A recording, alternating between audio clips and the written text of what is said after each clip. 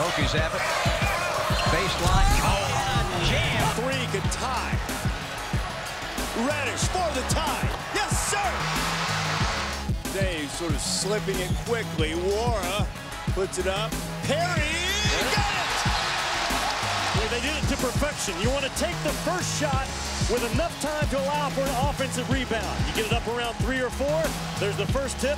There's the second. Very similar to the play at Kentucky before us to decide the ball game. That will be a huge two points when this thing's all said and done. Gotta get it in. He gave it up. And it's rejected by Nwora as the horn expires. The missed shot from Newman.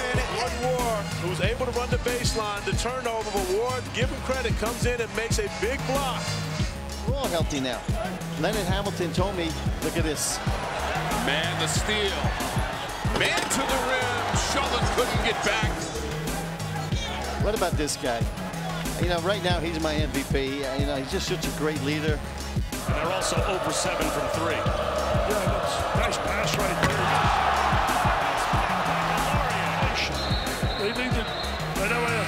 sort of slows him down.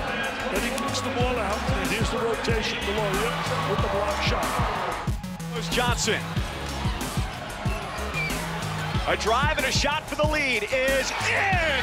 Miami is in front with one tenth of a second to go. Thought this was doomed from jump. I thought White should have got back to the basketball. Johnson, though a confident scorer, has played a lot of basketball. This is good defense. This is moving with them all the way. Mitchell with the contest, but the bank was open here after hours.